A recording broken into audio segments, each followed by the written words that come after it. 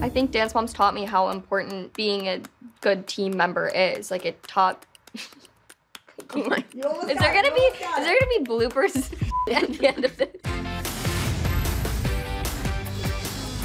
Hi guys, it's Brooke, and we're looking back at my journey on Dance Moms. Isn't she cute? You're the oldest person in this group. You need to be the role model. I really don't know if I want to be a role model for them. Look at the tape marks on the back from being ripped off and put up every week. Let's talk about the board. Brooke, Brooke, Brooke, Brooke. Probation, no solo this week. Yeah, it's gonna be all right, little one. One day you'll be at the top. And on top of the pyramid this week is Brooke.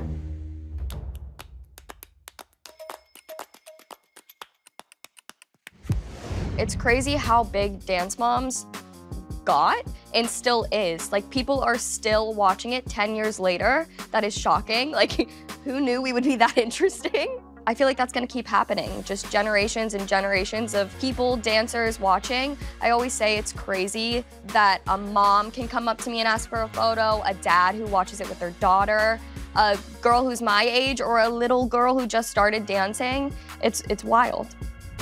I think it's a little weird that I'm forever 12 in a lot of people's eyes. Like everyone who watches the show, I post stuff on social media of like me having a cocktail and people are like, what? I'm like, I'm halfway to 50, I'm 25 years old. Make a spooky espresso martini with me. Dance Moms definitely is what started my social media presence. It kind of created the foundation for my like fan base, obviously. And now I've grown and found fans that love me for Dance Moms, but also just for my day-to-day TikToks and YouTube and Instagram.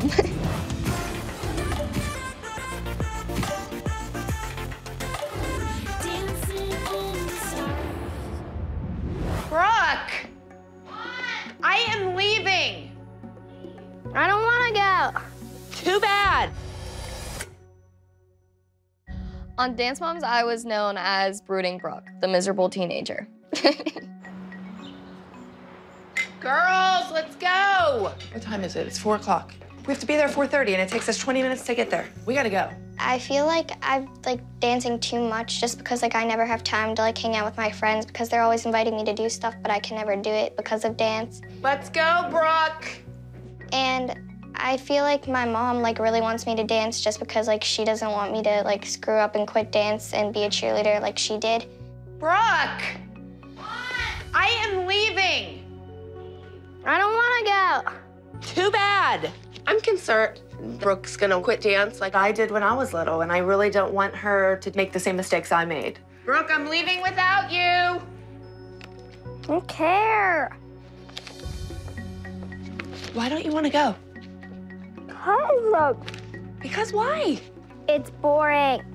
I feel like being known as Brooding Brooke was honestly kind of relatable. I feel like a lot of teenagers go through what I was going through. I wanted to do cheerleading, I think mainly because all my friends were doing it and they were always talking about it and I just was falling out of love with dance. It just kind of stunk that I couldn't do both. Today I'm trying out for cheerleading and I'm kind of nervous because I've never cheered before.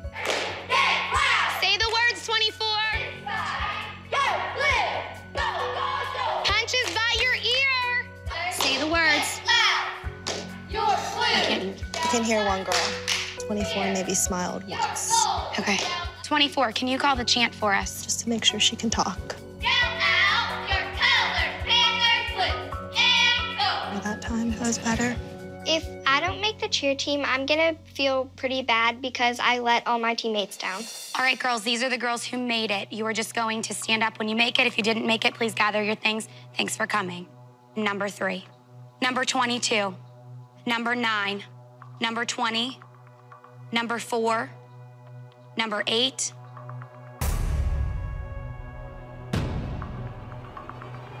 and number 24. Thank you, girls. I made the cheer team. I'm so excited to get my uniform and pom poms. Girls that made it, congratulations. We're gonna have a great year. Are you excited? Yeah. Okay, you have a lot to learn. I am so happy for Brooke. She really deserves this. But another part of me is upset because she's walking away from something that has has been part of her entire life. Looking back at it, I'm glad that I went and tried cheerleading, and I'm happy I did that because I know how scared I was to go against Abby and do something I knew she wasn't gonna like. So I'm happy I kind of put that aside and listened to my heart and did what I wanted. It's pretty empowering. I am an empowering woman.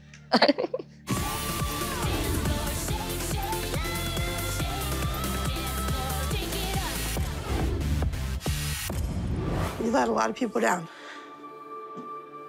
You let me down.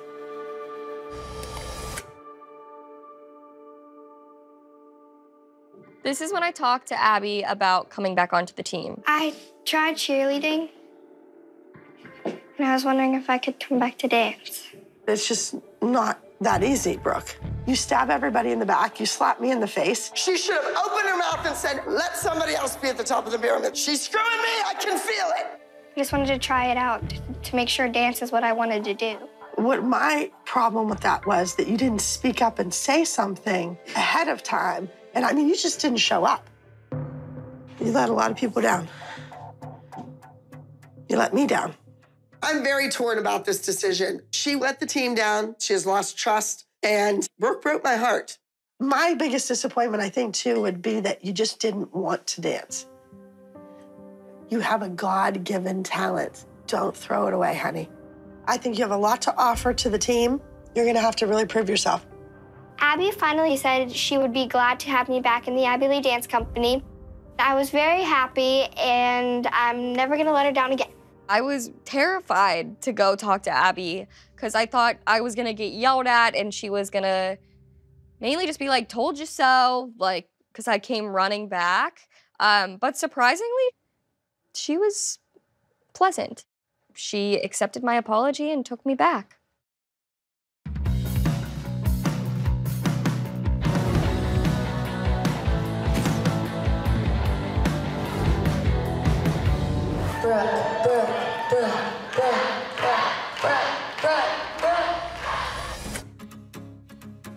This is when I sang with Jana Kramer. I was extremely excited because I was a huge fan of her and this was such a an exciting opportunity, but I was so scared. It was definitely a stepping outside of my comfort zone. I have a very special friend here tonight, and I love her, and she's gonna sing her new song for y'all, so please give a warm welcome, Miss Brooke. Brooke, Brooke, Brooke, Brooke,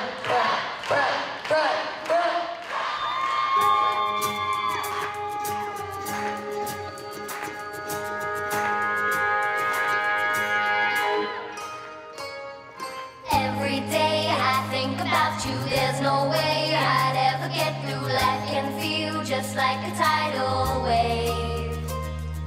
You were there to keep me floating, and your smile just kept me going. And your arms, they always kept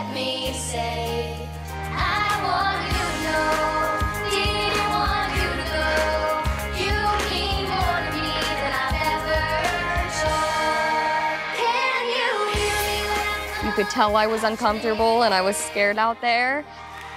I don't know. I, I look back on it and I'm like, that is super cool also. Like, I'm still a big fan of her and I love country music. And where I performed is like a huge place for concerts in Pittsburgh where I live. Even though it didn't go exactly the way I wanted, I, I still did it. I went up there and I did it.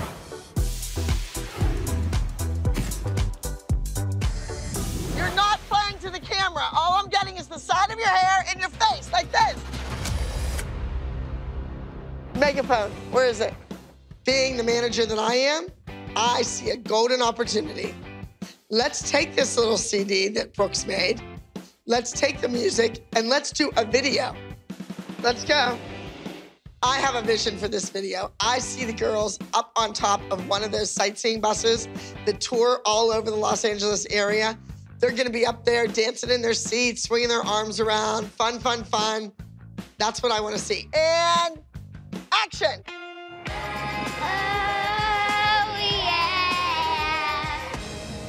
Oh, Brooke, you're not playing to the camera. All I'm getting is the side of your hair and your face, like this. I'm really excited. I'm shooting my own music video, but Abby's sucking all the fun out of it. She keeps yelling at us. That's all I've seen. Turn your head and look in the camera. Quit putting your arms up in front of someone else's face. You know, I'm glad that Abby wants to be a part of it, but why does she have to take charge? Abby was always trying to manage my singing career and like insert herself into the whole process. At times, I appreciated it and was grateful because it was helpful and like the Summer Love Song music video was fun, but then there was also times I was like, okay, this is my thing and this is separate from dance. You're my dance coach. Let's keep you up with the dance things.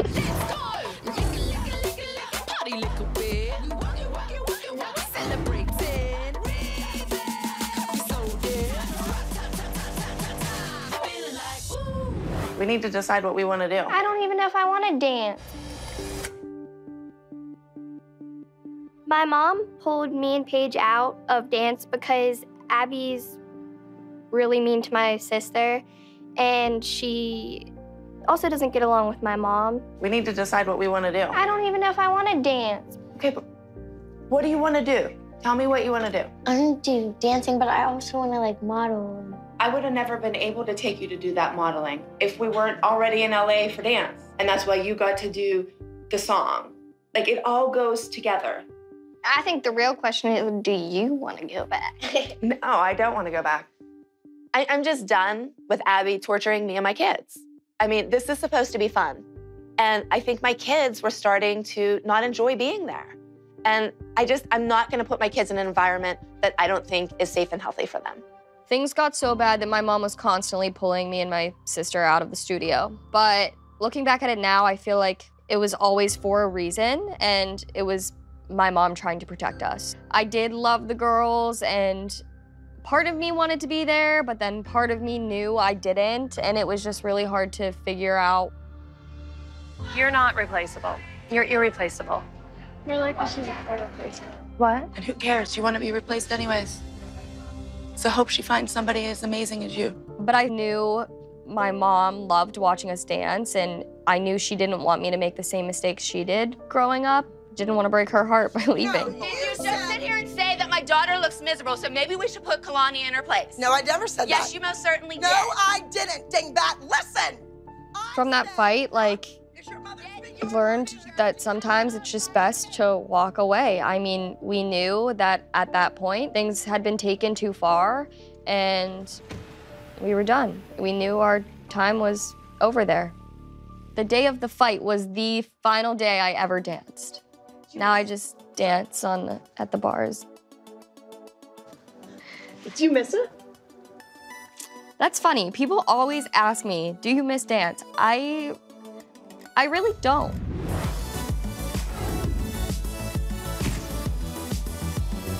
Since Dance Moms, my biggest accomplishments are graduating college, living on my own. I've been hosting trips, which I think are really cool. I actually invite some of my followers to come on trips with me. I just recently did one in Bali, I did one in Costa Rica, and I have one this summer in Croatia.